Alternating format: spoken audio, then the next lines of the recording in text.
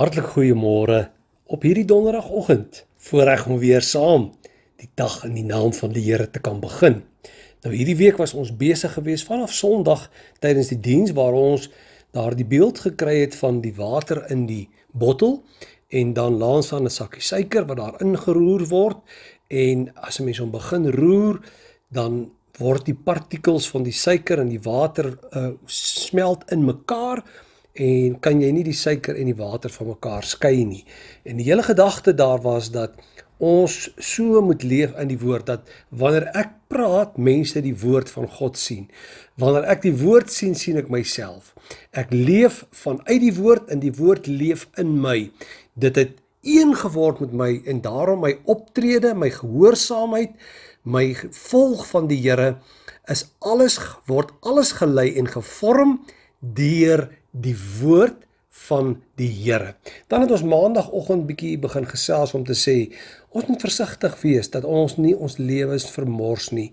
God het 'n doel vir ons elkeen daar op aarde gestel.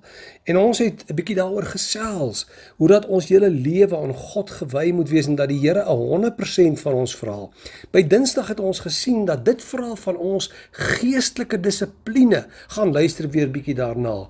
En gister het ons gesê ons ons ons doel in ons lewe is ook om meer soos Jesus te word, om naby aan hom te kom.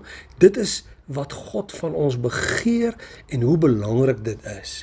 Nou wil ek baie graag vandag net so hierdie gedagte bietjie verder by u vat en vir u sê, maar wat kan ek doen van my kant af om meer soos Jesus te kan leef? Wat moet ek doen van my kant af? Hoe kry God dit reg dat ons soos Jesus in ons lewe kan word? Wel in die eerste plek die Bybel.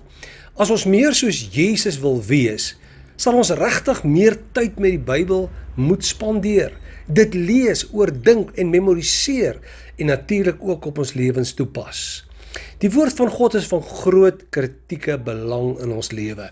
En om te verstaan dat jy reg moet lees, hoe jy dit moet interpreteer ook en daarvoor het ons Bybelkursus studies studies beskikbaar om vir mense te leer hoe moet jy die woord van God leer en verstaan. In die tweede plek gebruik die Here ook sy familie om my meer te maak soos wat Jesus is. Mense wat ons help en bystaan in geestelike opbou en ons het die afgelope tyd daarby stil gestaan dat ons geskape is vir die familie van die Here. Daarom kan jy nie maar net soos 'n gewone klap aan 'n gemeente behoort nie. Jy's deel van die familie, jy het gawes waarmee jy die gemeente ook moet dien. En dan natuurlik in die derde plek die gees van die Here. Ons het soveel klem gelê op gemeenskap met die gees. Hoe dat ons die Here moet vertrou om volgens sy woord in die gees te wandel. Die vrug van die gees van Galasiërs 5 vers 22 te openbaar. Dan natuurlik ook gebed. Jesus was by uitstek 'n bidder. En as ons ons gebed en ons uh, woord van God weer opneem, dit begin stelselmatig deurwerk, dit deel maak van ons lewe, sal ons ervaar jy begeer al hoe meer om soos Jesus te wees. Maar jy weet as jy hierdie pad kies en jy het hierdie gebed, Here, ek wil graag meer soos U wees.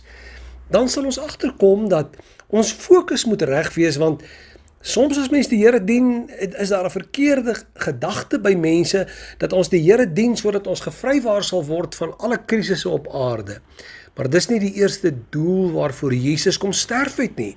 Hy het kom sterf om vir ons die ewige lewe te be, te laat beerwe.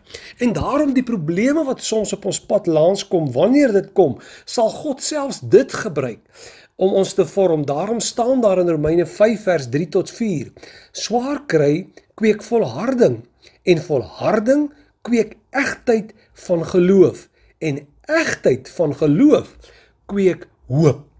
Ek en jy moet die een ding vir eens en altyd besef. God stel meer belang in wat ons is en as wat ons doen. God se doel is dus om in my en jou 'n beter karakter te bou, 'n karakter soos die van Jesus. En dit is altyd belangriker as my gerief. En tot ons dit begryp, sal die lewe nie vir ons sin maak nie. Sal allerlei moeilike situasies na jou kant toe kom en jy gaan elke keer sê, Hoekom, Here? Hoekom ek, Here? Want jy jy sien wanneer jy begin besef ek is ek is hier op aarde vir God se plesier om hom te aanbid met my lewe, om deel te wees van sy familie en hulle te dien en om meer soos Jesus te word. Dan besef jy skielik die doel van my lewe is nie hier in die eerste plek vir my persoonlik te gerief nie. Eers in die hemel is die lewe sonder probleme. Hierdie is 'n plek vir karaktervorming. Elke probleem in my lewe kan gebruik word ongeag of jy die oorsaak was of iemand anders of die duiwel. Selfs Jesus is nie probleme en toetse gespaar nie. In die laaste ure van sy lewe op aarde sien ons dit ten beste. Daarom lees ons in Markus 14, toe hulle by Getsemane kom, sê die woord van die Here, hy sê vir hulle sit hier terwyl ek gaan bid. Hy het ontstel en beangs geword en gesê ek voel doodsbenoud.